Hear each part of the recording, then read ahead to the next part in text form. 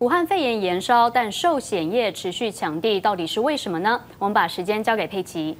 好，钟祥，各位观众朋友，傍晚好。其实，在疫情这段时间哦，很多观众朋友都想问说，现在到底是不是买房的时间点呐？可不可以危机入房市呢？其实，你可以从寿险业他们最近的劣地情形看出一点端倪。当然，你会先说寿险业他们现金满手，跟我们小老百姓的这个资源当然是差很多。可是，他们是这样逆势思考的哦。你可以看到，这世贸三馆哦，地上权七十年案，昨天最新消息真的是飙出去了，而且引来的四家寿。寿险业者在抢标位，抢得非常激烈，过程当中也是非常戏剧化。富邦人寿还有南山人寿都非常想要这一块这个地上权啊，所以他们两个抢得很凶。最终南山只以一亿元的价格啊击败了富邦，拿下了这块地。所以它最终的金额权利金是高达了三百一十二多亿元，溢价率是百分之十七，换算下来每平单价是到六百四十四万，而且还创下了三个纪录，面积最大，还有底价单价最高，绝标权。利金的总价也最高。其实你看历年来哦，在信义区这边呢，地上权这个抢地金额啊，真的是越来越高。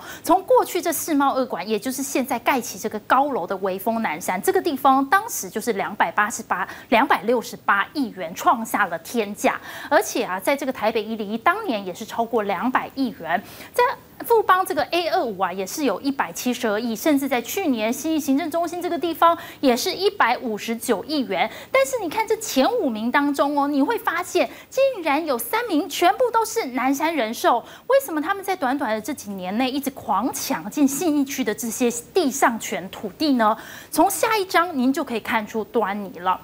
过去啊，他们进场，您可能会觉得说，现在在当地啊有百货有商圈呐，可是现在是危机入市吗？毕竟现在啊，大家说百货业、零售业都很惨，尤其新一区这边就有十几家百货啊，特别是要这个抢抢业绩。为什么他们还现在来进呢？你看地图上面发现世贸三馆，其实它位置真的是非常的好哦，包含了市政府一零一都在旁边，还有 ATT 佛放以及威风南山，这个地理位置非常的优越，而且其实他们现在抢进去的。话这个土地开发动辄都要三五年。如果观众朋友您有最近到这个地方去看，你会发现其实世贸三馆它的地上物还在的，所以它还要拆除之后再重建。盖起来之后，疫情恐恐怕也已经结束了吧？所以他们看准的就是未来这个商办的需求。毕竟啊，在西区这个 A 办啊，过这几年啊抢得非常的凶。你看价格啊，是一下站上了三千元，甚至在今年一月啊，是已经将近来到了四千元的价格，这是每平的单价哦。所以现在 A 半的需求啊，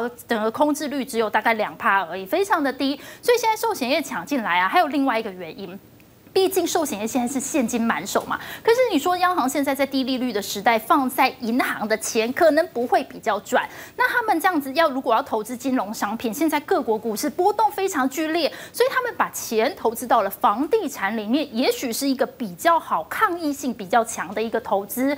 另外就是在于说整个二月的房市其实还是走强的，包含这房贷余额啊创下新高，土建融余额也创下一百个月来的新高点，甚至连。侨外资现在都抢进来来买豪宅，他们买的豪宅还跟艺人彭于晏是同一栋。高耸摩天楼坐落在天母蛋黄区，格外显眼。想要和全民老公彭于晏一起当邻居，大量资金现在回台停泊，摩天豪宅更成了投资焦点。天母华固天柱以及大直西华富邦两栋摩天楼豪宅户各以四点九七亿以及二点八八亿天价卖出。第一个来讲的话，美中贸易战影响的全球的一个啊层面很大。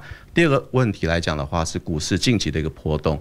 第三是啊新冠肺炎它是蔓延全球，外资它的资金热钱太多了，所以说它必须寻寻找一个相对安全的投资标的。二月份消费者房贷余额创一百一十五个月来新高，土建融资也是一百个月来高点。摊开数据来看，全台六都交易量只有高雄市月减百分之四点四，微幅下降，其余全部大幅上升，平均月增更来到百分之十八点三。觉得还蛮热络的哎，房地产好像没有什么影响到。之后趁房价下滑去买，应该也差不多吧，因为等之后上涨的时候，如果要转手再卖也比较赚啊。第二季是一个影响的关键因素。那下半年七月份之后，就是一个很重要的一个关键点。如果疫情都得到了有效的控制之后，相啊相信不管是投资型或自住型的，都会有审慎的一个考量进场。市中心的蛋黄区也常出现福地宅散布其中，例如南港区的研究院路段，价差最高来到百分之三十六，一平只要三十二万，房价精建三字头，但民众敢捡便宜吗？不要太接近比较好。如果有其他选择的话，不会考虑。疫情之下，买家选择空间变大，不急着下手，多比较才是关键。东森财经新闻蔡炳宏、钟玉瑞台北采访报道。